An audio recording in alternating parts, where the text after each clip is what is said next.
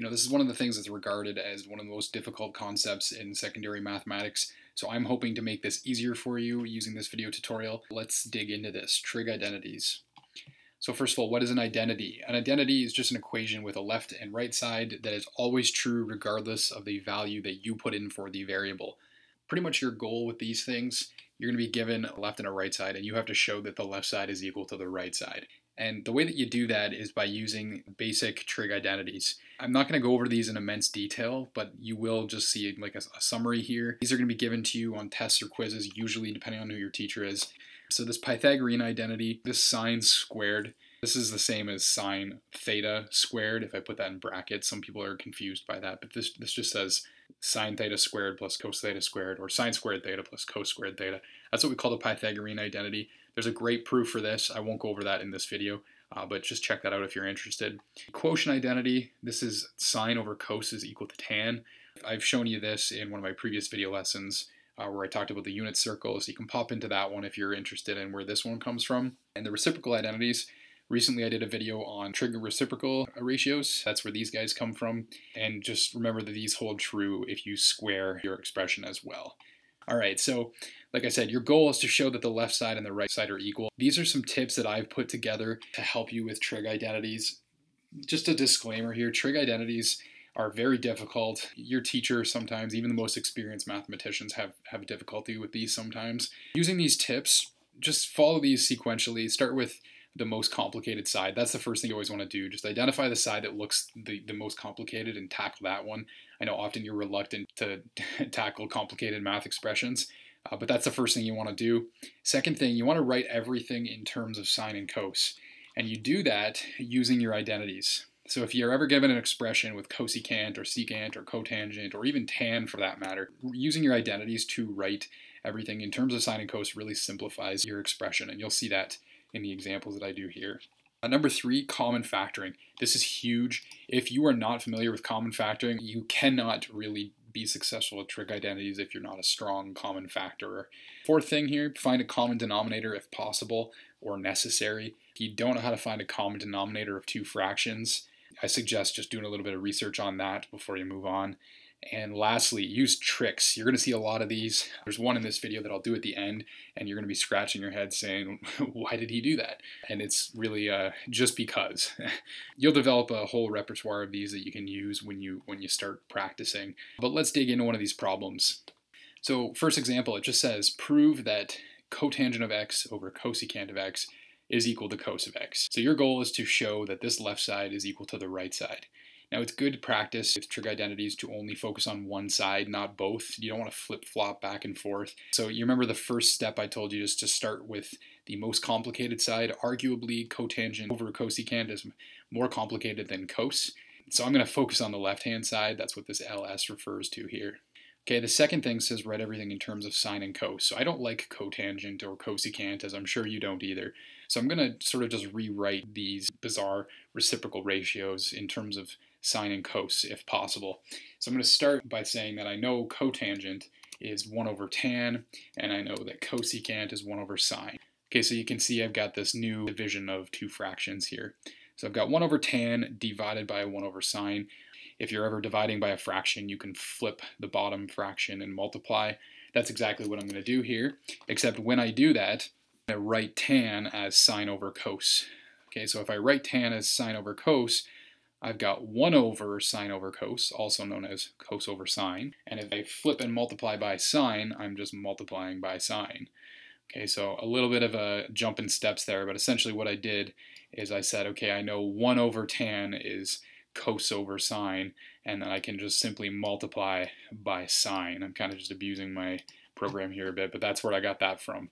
Okay, so you can see that I changed my expression into sine and cos, and conveniently enough, I can cancel out these sine expressions, right? This sine is over is over 1, so I can, you know, I can cancel those guys out nicely, and I'm left with just cos. Well, that's what I was trying to show in the first place. I wanted to show that the left side equals the right side. So it's always a good idea just to conclude, therefore, left side equals right side.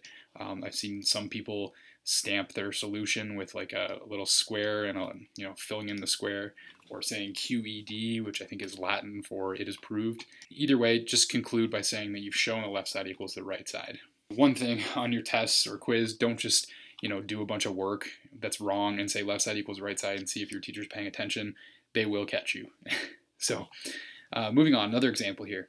Prove that tan squared theta plus 1 equals secant squared theta. So arguably, again, the left-hand side is maybe the more difficult side. You could say secant is, but I'm going to say that this one's got more going on. So let's focus on that left-hand side.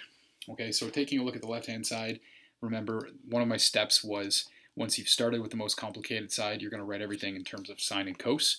Well, I'm going to take tan, and I'm probably going to write that in terms of sine and cos. And I'm going to do that using a quotient identity that says sine over cos is tan. Likewise, sine squared over cos squared is also tan. Okay, so that's what I've done here. Okay, so great. I've got something started here. Um, I'm going to call on another one of my steps that says to find a common denominator if possible. I'm adding a fraction and some number 1 here. You can also just remember that this is 1 over 1, so I'm essentially adding two fractions. So what I'm being called to do here is just find the common denominator between these two. I won't go over that in immense detail here, but the common denominator between cos squared and 1 would be cos squared. So I multiply 1 over 1 by cos squared over cos squared. I'm kind of hoping you're comfortable with common denominators if you're watching this video. Okay, so now that I've got a common denominator, I can just add straight across. So I'm going to simply combine my numerators and my denominators stay as, as cosquared theta. Some people, if you're one of the algebraically weak people, will will do this and cancel those two. Please do not do this. This is not allowed. You are adding here, okay, so be careful. You can't just cancel those out. However, on top, this looks really nasty, sine squared plus cos squared. As it turns out, this expression is one of the most beautiful things that you can possibly see in a trig identities problem. Because if you look at your Pythagorean identity, this is equal to 1. So that mess on top, that whole thing is just going to simplify to 1. So we've got 1 over cos squared theta. So we've got 1 over cos squared theta. That's going to be secant squared theta. So we can just kind of conclude that our left side does in fact equal our right side because we've simplified this down to a secant squared theta. Awesome example. These things are a lot of fun. I have a great time with these. Most people don't. I get a lot of weird looks when I tell people that I enjoy these. We'll do two more. They are kind of increasing in difficulty, as you can see. Okay, so prove that this left side equals that right side. Arguably, the right side is more complicated. There are three different expressions being multiplied together. I'm going to start on the right hand side and if you recall the tip that I gave you on writing everything in terms of sine and cos, that was tip number two. Great place to start. Let's just take our right hand side and write everything in terms of sine and cos. So sine and cos stay the same. Remember tan is sine over cos. Now I'm multiplying. I can cancel out these two coses nicely and that's perfect because I don't want those there. I want to simplify my expression. So all I'm left with is sine of theta times sine of theta well, that's going to be sine squared theta.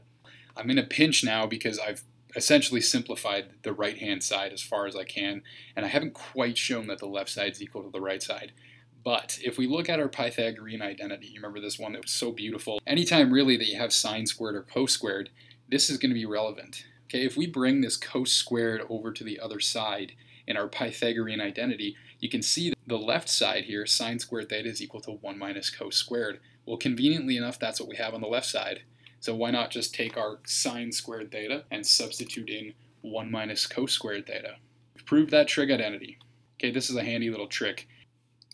This last one is a doozy. I'm warning you right now, this is one of the nasty ones that requires a little trick. I'm going to pick on the right hand side, no particular reason. I, these are arguably the same level of complexity on, on the left side and the right side. I'm going to pick on the right hand side and just for a moment, I'm, I'm going to put that in brackets, and I'm going to circle this negative sign right here, because I'm about to show you a trick that you would really not necessarily be able to develop on your own, but I'm hoping you can kind of follow my logic here. So what I want to do is I'm going to take the top, and I'm going to say, okay, I've got 1 minus cos theta on top.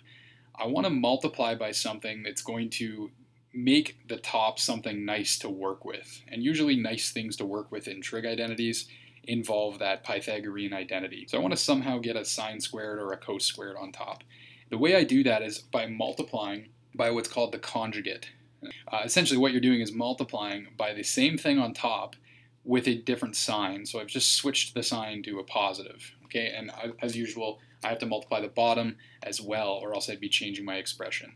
So this is essentially, this is what I like to call creatively multiplying by 1. I haven't changed my expression at all, but I've put myself in a situation where if I FOIL this out, you're going to see that I end up with something pretty beautiful.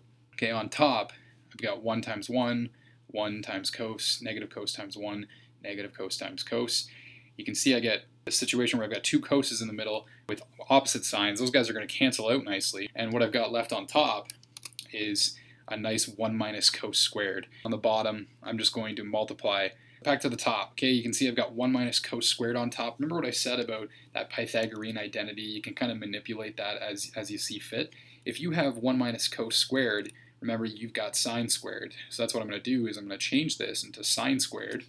And you know, this is maybe the moment for you that you start thinking, aha, I see where this is going. I've got sine squared theta on top, I've got a sine theta on the bottom, and these are these guys are being multiplied on the bottom, so I can cancel out one sine theta on top with the sine theta on the bottom. You can see that I've got sine theta over 1 plus cos theta, and I've showed that the left side equals the right side. This one was definitely a challenge. If you do not know this trick, I don't really know another way that you can show that this left side equals right side for this trig identity problem. That's one of those handy tricks to keep in mind. Don't be afraid to multiply it creatively by 1 using that conjugate. That's all I'm going to do for this video. I will post another video on trig identities because there are even harder ones, believe it or not. Uh, so stay tuned for that.